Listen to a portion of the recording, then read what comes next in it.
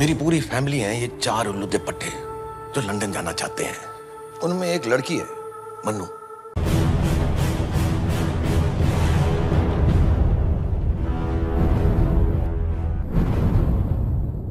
Hello दोस्तों, हंगामा studio में आप सभी का स्वागत है। सबसे पहले शाहरुख खान को हमारी तरफ़ से very very happy birthday and Shahrukh Khan के लिए ये साल काफ़ी ब्लॉकबस्टर रहा। साल की शुरुआत में फ़िल्म पठान से एंट्री की और ठीक सात महीने बाद सितंबर में फ़िल्म जवान रिलीज़ हुई। दोनों ही मूवी ने पर्दे पर नए नए रिकॉर्ड बनाए। अब साल 2023 का आखिरी भी सिनेमा में शाहरुख खान का होने वाला है। लगता है दो हज़ार तेईस शाहरुख खान अपने नाम करके ही रहेंगे। पठान और जवान की सुपर सक्सेस के बाद उनकी अगली फ़िल्म डंकी की पहली झलक सामने आई है। राजकुमार हिरानी के डायरेक्शन में बनी इस मच अवेटेड मूवी का टीजर अब फैंस के सामने है। किंग खान के अट्ठावनवे जन्मदिन पर डंकी का टीजर रिलीज़ किया गया है। ऐसे में शाहरुख खान के फैंस के लिए दो नवंबर डबल सेलिब्रेशन लेकर आया है। शाहरुख खान की ब्लॉकबस्टर फ़िल्म जवान इस साल की सबसे ज़्यादा कमाई करने वाली हिंदी मूवी है। अपने अट्ठावनवे जन्मदिन पर किंग खान के फैंस को जवान ट्रीट में दी है। अगर आपने थिएटर्स में ये फ़िल्म देखना मिस किया हो तो आपके लिए गुड न्यूज़ है शाहरुख खान की फ़िल्म नेटफ्लिक्स पर रिलीज़ हो गई है। मूवी एक्सटेंडेड कट के साथ हिंदी में, तमिल और तेलुगु में स्ट्रीम हो रही है। फ़िल्म की पहली झलक ढंग की ड्रॉप वन राजकुमार हिरानी की सिनेमा की शानदार झलक दिखाता है। फ़िल्म में चार दोस्तों की कहानी दिखाई गई है, जो इंग्लैंड जाने का सपना देख रहे हैं। विदेश जाने के लिए वो सारी जुगल लगा रहे हैं। शाहरुख खान ने अपने इन दोस्तों को लंदन ले जाने की ज़िम्मेदारी ली है। डंकी प्यार और दोस्तों को सेलिब्रेट करती है। टीजर में कई सारे फन एलिमेंट देखने को मिलते हैं। मूवी के कैरेक्टर्स काफ़ी पावरफुल है। बहुत जल्द फ़िल्म का ड्रॉप रिलीज़ किया जाएगा। इस साल आई दो फ़िल्म में शाहरुख खान का मासी अवतार दिखा है। पर्दे पर एक्शन करने के बाद एक्टर डंकी में अलग रोल में नज़र आ रहे हैं।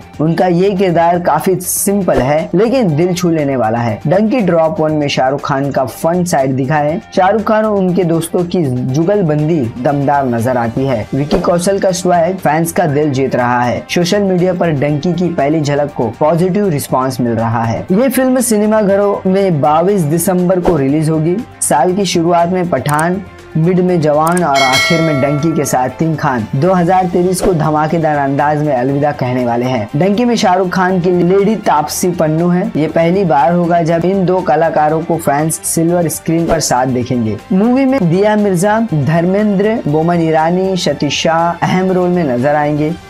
काजल और विक्की कौशल कैमियो रोल में दिखेंगे। तो दोस्तों, ये एक बहुत बड़ा तोहफा है शाहरुख खान के फैंस के लिए, उनके बर्थडे पे। तो डंकी के लिए आप कितना एक्साइटेड हैं और आप इस पर अपनी क्या राय देना चाहते हैं, हमें कमेंट में बताएँ और भी जानकारी के लिए हंगामा स्टूडियो को ज़रूर सब्सक्राइब करें।